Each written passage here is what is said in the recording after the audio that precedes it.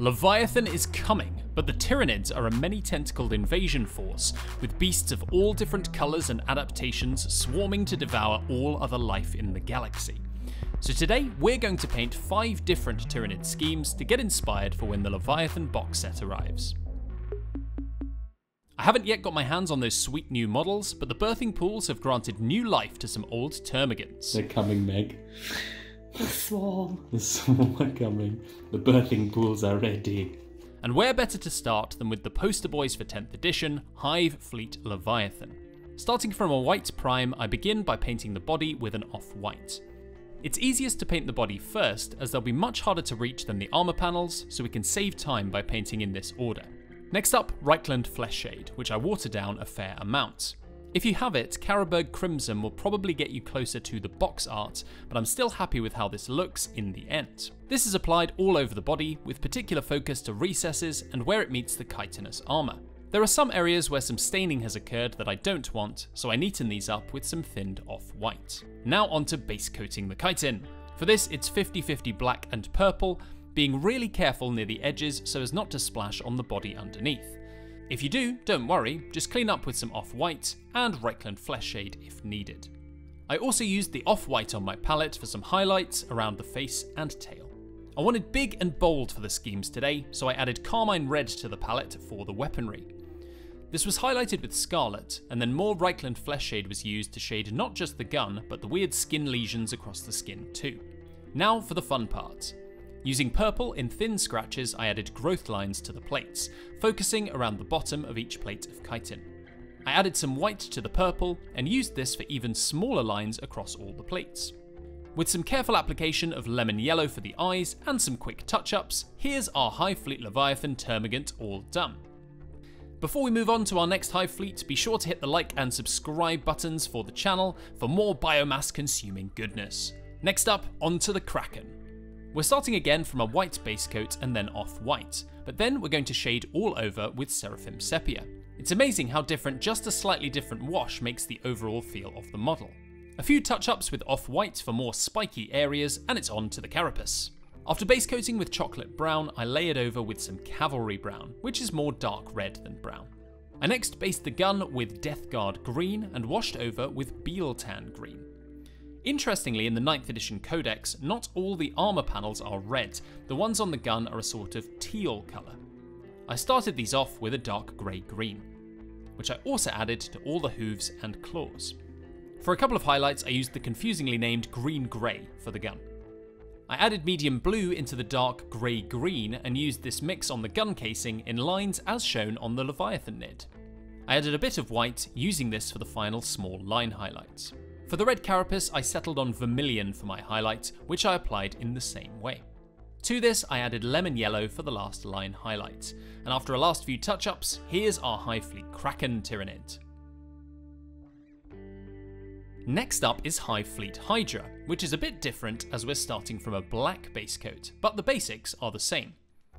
For the most riveting footage of this episode, I applied Vallejo Black over the whole model to ensure the right finish instead of relying on the black primer.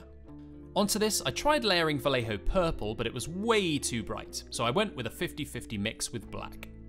I shaded the body with Druchii Violet, and I then highlighted the skin with purple, leaving the darker colour in the shadows.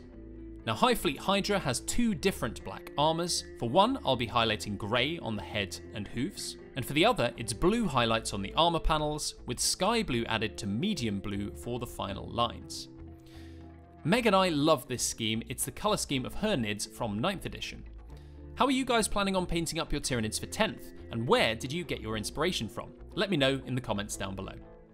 At this point, I thought the purple was looking a little flat, so I added some white into the purple from before, focusing this in highlights on the face. This did end up being a bit too stark, so I came back in with purple to smooth it out. A lot of this scheme is quite dark, lending itself to a poppy accent colour, and for this I used a lime green on the gun, cables, and skin lesion thingies. I finally washed over all of these with Biel-Tan green. And here's our Hive Fleet Hydra Termagant, a silent assassin from the darkness between stars. Next up, the Behemoth. For this model, I wanted to push the values of my colours to ridiculous cartoony proportions. Behemoth's red and blue lends itself really well to this. Another white prime for this one to help the colours pop, followed by a coat of carmine red, which I applied in two thin layers to make Duncan proud. I shaded this with Reikland Flesh Shades, but as these shadows weren't dark enough on their own, I bolstered them with watered down Cavalry Brown. I then base coated the armour panels with German Grey. I then attempted to base coat with flat yellow for the gun to get the full primary colour triangle, however I decided to go over it with off-white before attempting the yellow once again for much better coverage and brighter colour. The red skin got even brighter with a highlight of vermilion, and the yellow got temporarily darker with Seraphim Sepia. I highlighted the armour with scratchy lines of medium blue, before then adding sky blue for the final layers, just like on my Hydra Termagant. I used the German grey and blue recipe for the lesions across the skin too, before finishing off with off-white teeth and highlights on the yellow. And so here we have it, a very jazzy and very 90s looking Hive Fleet Behemoth Termagant. Let's move on to look at our final Hive Fleet, Jormungandr. This scheme is awesome, even if I don't know how to pronounce the name at all. One thing that I do know a little bit about while I paint black on black is Element Games. If you're looking at getting some Tyranids for 10th edition, consider checking out my affiliate links to Element Games in the description down below. You get discounted hobby products, I get a kickback at no additional cost to you, so thanks for supporting the channel by using those links. I then highlighted up the black body using a medium sea grey, which I'm sketching onto raised areas. The main focus of this scheme, though, has to be the yellow carapace. From my experience, trying to add yellow over a dark undercoat is an exercise in futility, so I start with a base coat of sky grey. With this applied evenly, I can start adding the yellow, and it's so much better. Having said that, it does still take a few coats to apply smoothly. This flat yellow is just what it says on the tin, flat, so I apply a layer of Casandora yellow to bump up the warmth and contrast. Watch out for this pooling where you don't want it, and don't hair dry the layers to dry them more quickly like I did, it will only blow the thin paint around. Now the yellow is looking pretty punchy, so we can go easy on other highlight colours, like using a flat red for the lesions and weapon. With a few final grey highlights, here's some Hive Fleet Jormungandr Termagant action. This has been a really fun and eye-opening experience, using some colours that I don't get to use as frequently. Let me know which is your favourite in the comments below. Games Workshop has also announced some new Hive fleets in the Leviathan book, so let me know if you'd like me to paint some of those up. In the meantime, my name has been Oli, this has been my hobby, and I'll see you next time.